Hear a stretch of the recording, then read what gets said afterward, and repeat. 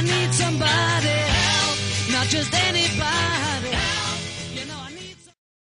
Hello and welcome to the Smartboard training session. Today I'm going to show you how to make a Smartboard uh, lesson. This one is really neat. It's called the Vortex Sorter.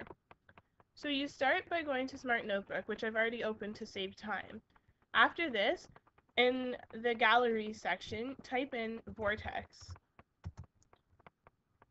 Now you'll see a lot of hits, but the best place to click is the Lesson Activity Toolkit 2.0.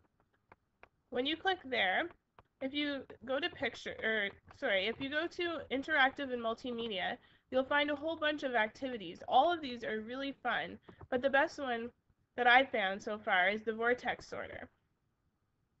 So scroll down and you should see blue vortex sort. Once you've found this, click on it and drag it to the activity center, to the main page. It'll take a second to load, and you might want to uh, try to close the gallery a little bit so that you don't see it so much. Um, to edit this activity, there's a little box that says edit and you can click it and it'll let you change the labels. So an example of an activity that would be this would be really good for would be for urban and rural communities. So in one cat in vortex label 1 you could type urban and in vortex label 2 you could type rural. Now I'm only going to do a few labels just for an example, but you can do many labels as you can see. So for urban, I'll type in city, bus, and car. Uh, for, for rural, I'll type in farm, tractor, and horse.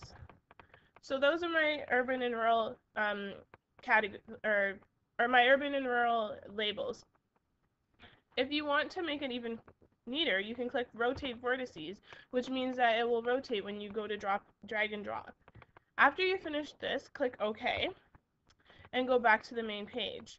If you scroll down, you'll see that the things that you just put in are there.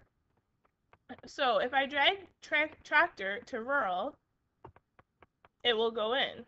However, if I were to drag farm to urban, it will not accept it. If you drag it to rural, it will. This is really fun for the kids because it's a great way for them to sort the, the labels that they've been given in class. They can test their knowledge and see if they understand what they've learned. It's really interesting because the vortices will um, not accept the ones that are not meant for it. And you can also edit it. You can do it with many, many things. Um, you could even do it with math problems. Um, you could do it with health. You could do it with language. You could do it with social studies. There's so many different ways that you can use this program. I really enjoy it and it's really a lot of fun for the kids. When you're ready for a new kid to start it, just click reset and it'll send everything back to the way it was. So now you have some ways of using the Vortex sorter to create a lesson for your class. This is a really fun and interactive way to teach your kids about sorting different things. I hope that you enjoyed this lesson and that you'll use it in the future. Thank you. Goodbye.